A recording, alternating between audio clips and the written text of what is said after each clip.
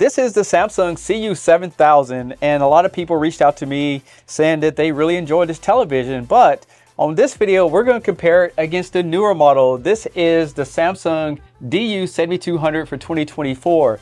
And if you was to walk into a Best Buy right now, you'll see these TVs floor stacked everywhere, especially around sales events or holidays.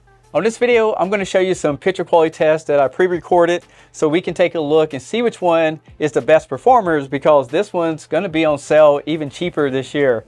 And I like to say that I've been holding on to this TV for a year and it's time to say goodbye. So with that being said, let's get into it. Before we get into this, I will tell you that I didn't calibrate these TVs.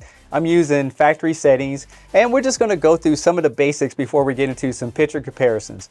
Now, I want to check out the brightness on both television. Instead of using the Calman software with this guy right here, I just actually downloaded an application on my phone so I can just check the brightness out of that. And using an all white screen with the brightness at 100%, I was able to get 963 lux out of the DU7200. And then moving over to the CU7000, I was getting 769 lux. But on some of the content, even using the same settings, the CU7000 appears to look a lot brighter. I also want to do a heat test on these televisions and it appears that the DU7200 is more consistent across the board versus the CU7000.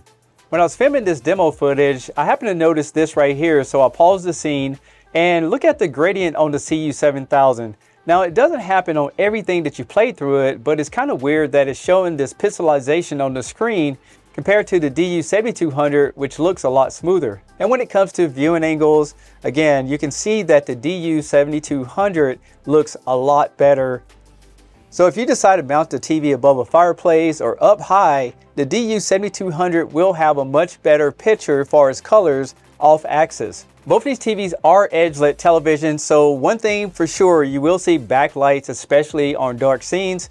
But speaking of that, let's go into movies.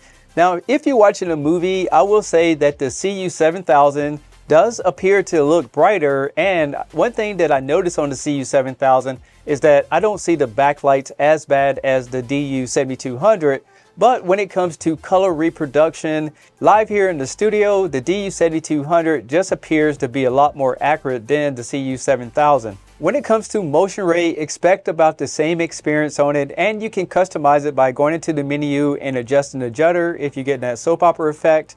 And when it comes to skin tones, I think both TVs are very similar. And in my opinion, the DU7200 slightly edges out the CU7000 overall. And far as dirty screen effects, it seems like both TVs look great when they're in the white zone, but whenever we get into more of the gray level, I noticed that the CU7000 in the center of it has a little bit more dirty screen effects when you compare these two TVs. Now the buzzword going around is everything's becoming HDR. That's high dynamic range. So it allows more metadata to the television so it can produce a much better picture. When you look at this comparison right here, the biggest thing that really stands out to me is that the color reproduction, once again, on the DU7200 is picking up a lot more detail than the CU7000. So what that means, if you decide to play HDR content on it, the DU7200 is going to look much better. For people who are asking, can I get a great gaming experience out of these TVs? And I would say yes. The main reason is the majority of the games run at 4K 60 frames per second and both of these TVs will support up to that capabilities. Both of these TVs have the auto low latency feature for faster latency, but keep in mind, neither one of these TVs will support G-Sync or FreeSync.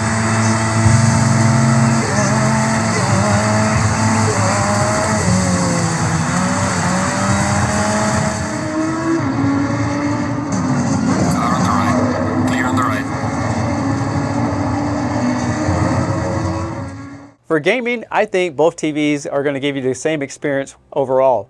The last thing I want to tell you guys is that if you have a CU7000, they did update the software. So let's take a look at the menu systems real quick. So now you have these nice uh, new looks as far as the icons. And the thing I want to show you here is that if we go through the menus, one thing that this DU7200 has that that one doesn't have is a Q Symphony setup. So if you have a Samsung soundbar, now you have a setup to get the best experience out of it. Other than that, all the menus are about the same, We have the gaming settings. Both TVs will support Apple AirPlay. And you do have a new multi-control on the new DU7200. As we go through here, again, all the features look almost identical. And keep in mind, neither one of these TVs has voice commands. However, if you go with the new DU7200, you can download the SmartThings application and now you can use your mobile device to give it voice commands. The last thing we're going to take a look at here is if we go into the main screen, now you have what they call SmartThings application.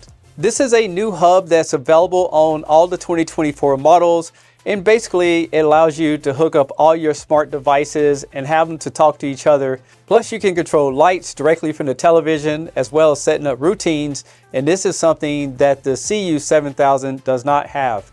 Now as far as things that I did notice when I was doing my demos is that you can't see it with the naked eye but my camera did pick out some flickering here on the DU7200 and I'm not sure if it's just the camera settings or the televisions. So if you're experiencing any type of flicker on your television leave me a comment below. And when it comes to the CU7000 there's a thing called panel lottery. When I was testing this TV out I noticed a white border around the edge that I didn't notice before they did the update. When it comes to making televisions, Samsung is number one as far as the most units sold. And the great thing is buying their televisions, you have a customer service rep that you could call, which some companies just don't have that set up. The last thing I want to mention on these two TVs is that if you need fiber optic output, the DU7200 no longer has it, but who really uses that anymore? It's just a handful of people. I think the majority of people are now using eARC or they're using Bluetooth to connect their audio systems externally. With that being said, hope you guys enjoyed this video.